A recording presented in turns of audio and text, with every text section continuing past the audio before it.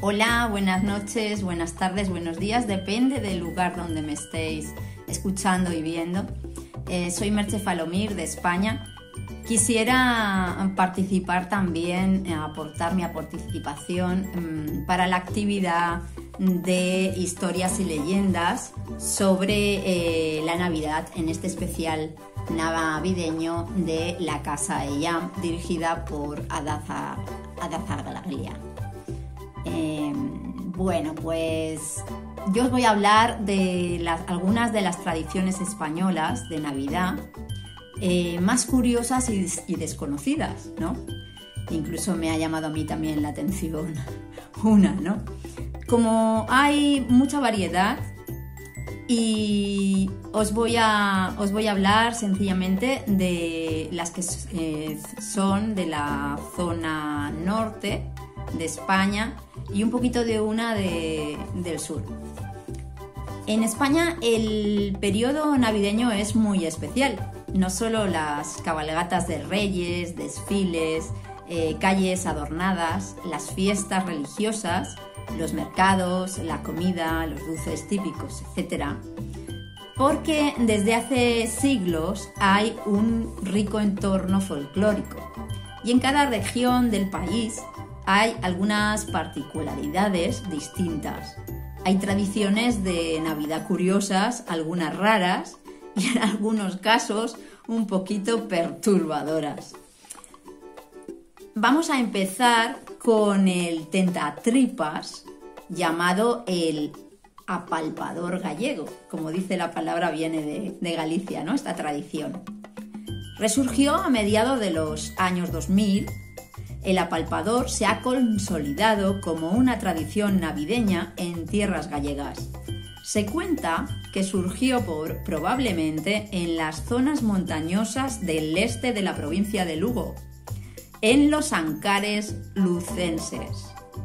El apalpador es un carbonero andrajoso con boina que fuma pipa y que es a veces eh, baja de las montañas con un burro llamado Lord y baja a los montes de, los montes, baja en las fechas de Nochebuena y Nochevieja para dejar presentes tras palparles a los niños la barriga.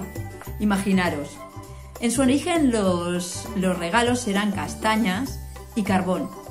Las castañas se, destinaban a los niños que no podían llenar su plato en algunas zonas rurales de Lugo y Urense.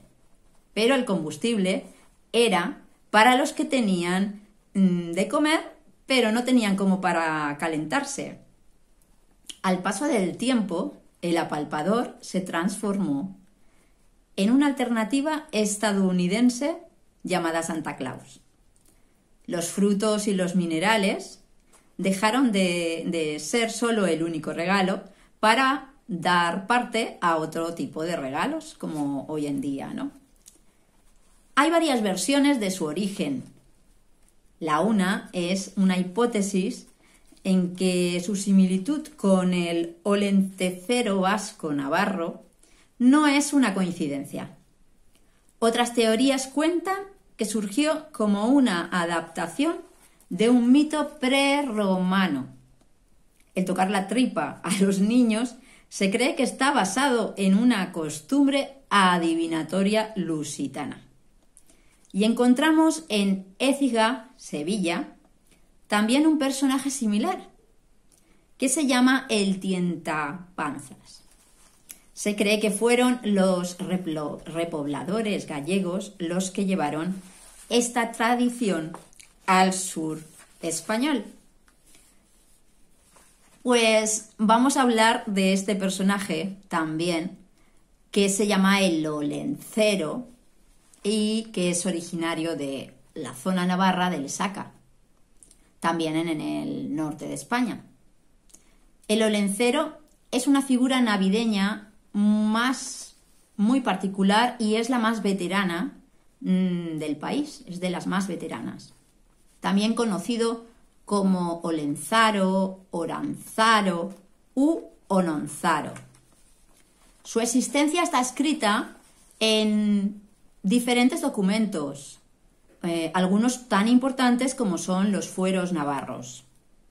Este personaje hace su entrega de regalos el 25 de diciembre en Euskadi y Navarra. Se cree que dicho personaje apareció con las festividades prerromanas asociadas al solsticio hibernal.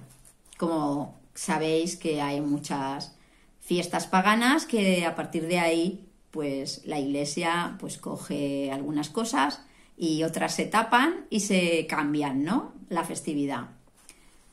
El cristianismo adaptó tanto estas como las costumbres anteriores a Roma, que es lo que se estaba pensando, eh, diciendo con el olancero. Y pasó a este estar atado al nacimiento de Jesús.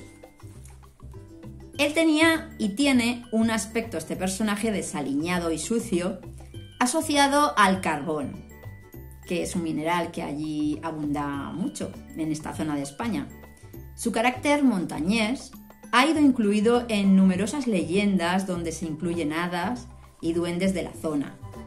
Su labor consistía en bajar de, desde su casa, donde él vivía solo, para dar combustible a las localidades aisladas en los montes vasconavarros. Y al igual que el apalpador, reparte regalos a los niños desde Guipúzcoa a Pamplona.